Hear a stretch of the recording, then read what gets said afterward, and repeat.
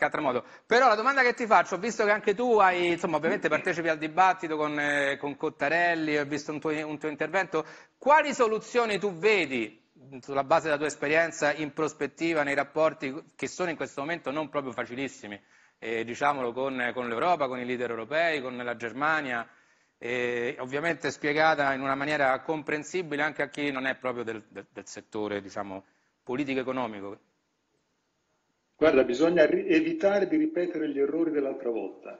L'altra volta, quando ci fu la crisi del 2008, c'è stato un primo grande errore, cioè i leader hanno discusso per quattro anni se dovevano intervenire gli Stati o l'Unione Europea e soltanto nel 2012 Draghi, ci ricordiamo tutti, ha avuto la forza di intervenire con quel famoso whatever it takes, come si suol dire, cioè l'intervento eh, di eh, sostegno all'economia e, e, con la nascita del, del Fondo Salva Stati. Ma in, in, quei primi quattro anni si è giocato tutto in negativo.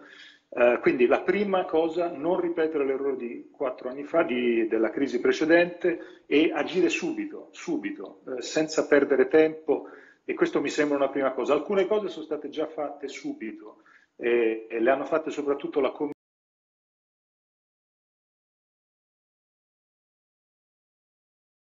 È stato fatto questo intervento da 100 miliardi di euro contro la disoccupazione, è stato annunciato questo intervento molto importante anche sul materiale sanitario dopo quei primi giorni drammatici in cui le cose erano andate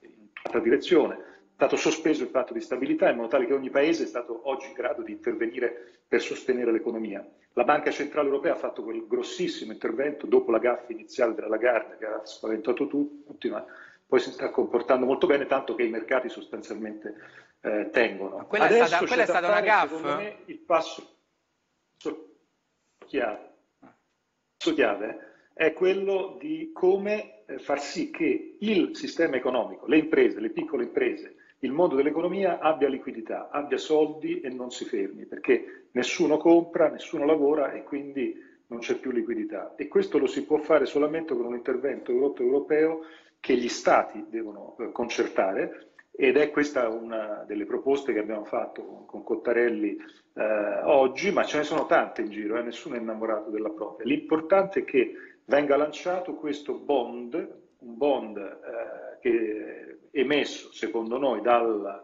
Banca Europea degli Investimenti, quindi è una cosa fattibile, un bond che sia finanziato tutti insieme e speso tutti insieme. Quindi eh, la, la più grande difficoltà che oggi c'era qual era? Una incomprensione tra i paesi del sud e i paesi del nord.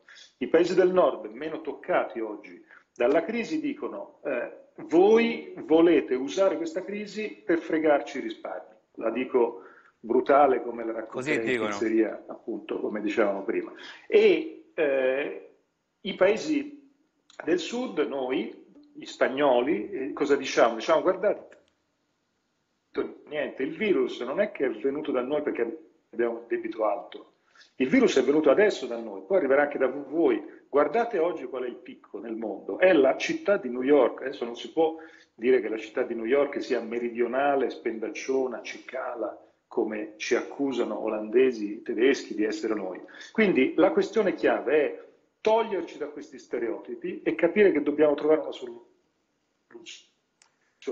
questa proposta, proposta che evita la paura dei tedeschi che dicono voi mettete le mani sui nostri risparmi, usate i soldi per fare i vostri debiti. No, facciamo insieme una richiesta di denaro al eh, sistema, al mercato, la garantiamo tutti insieme e poi li spendiamo insieme a fare cosa? A sostenere le imprese subito, con liquidità immediata. Se non si fa questo subito, salta il sistema. Questa è la mia impressione e aggiungo salta anche l'Europa. Ecco.